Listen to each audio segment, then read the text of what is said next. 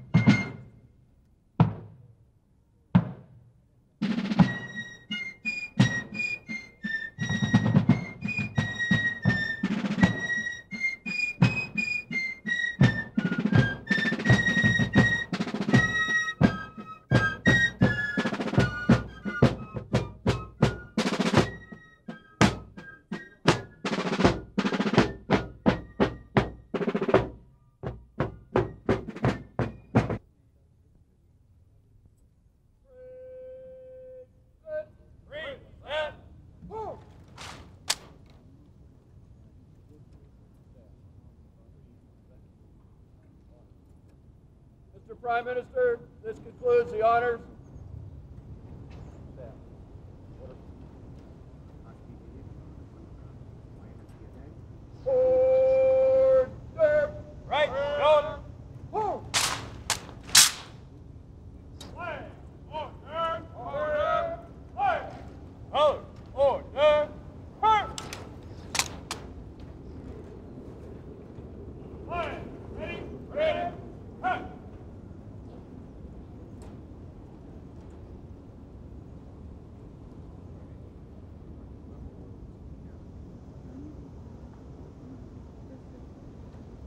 Colors. Ready. Cut. Ceremonial! Ceremonial. Set! Colors. Oh, and at. Hit.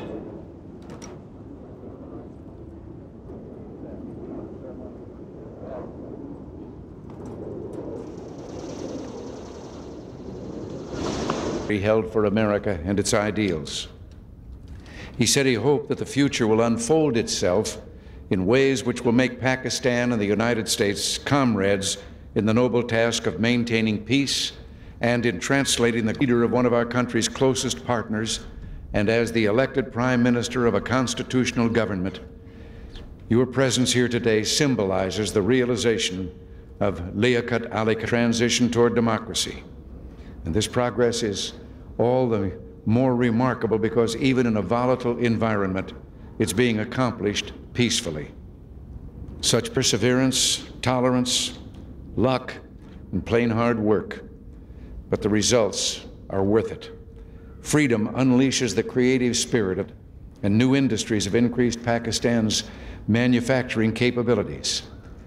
The United States, is one of Pakistan's major trading partners, applauds your government's efforts to foster enterprise and bolster expanding the boundaries of opportunity and improving the quality of life of your people.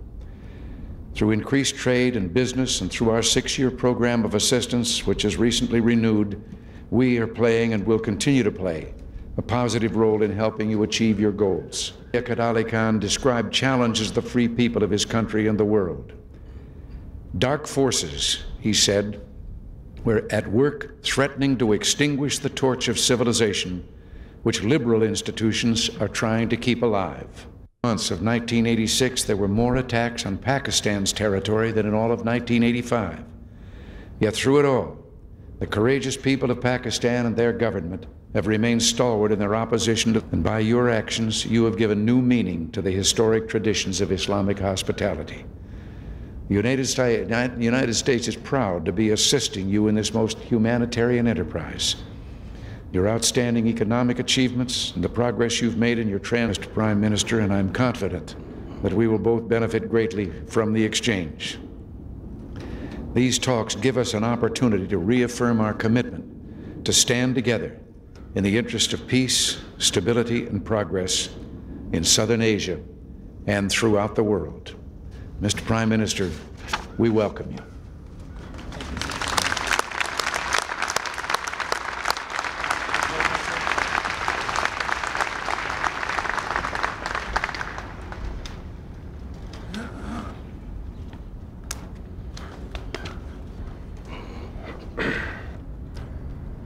I thank you, Mr. President, for the gracious words you have spoken. I greatly appreciate also the warm reception that has been accorded to me and to my colleagues on our arrival. People of Pakistan fully reciprocate these sentiments. I bring to you their cordial greetings and best wishes. Islamic belief, even when we have faced difficult circumstances, our faith in democracy, along with all the fundamental rights. I am sure all friends of Pakistan are gratified. I was particularly happy to receive your invitation.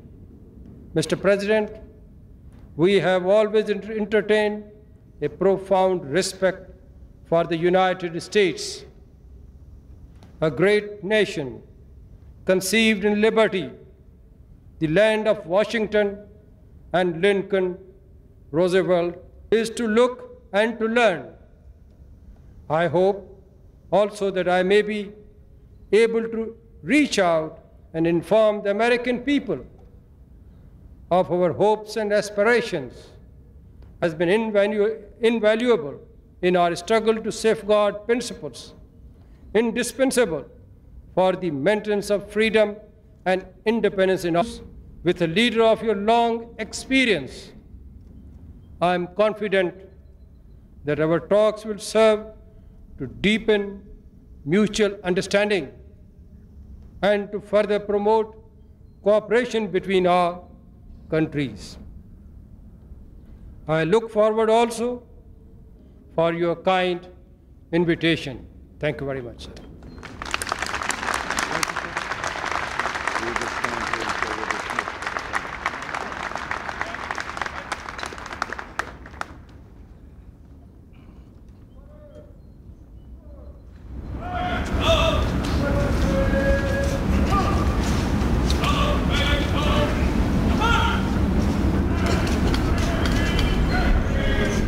Yeah.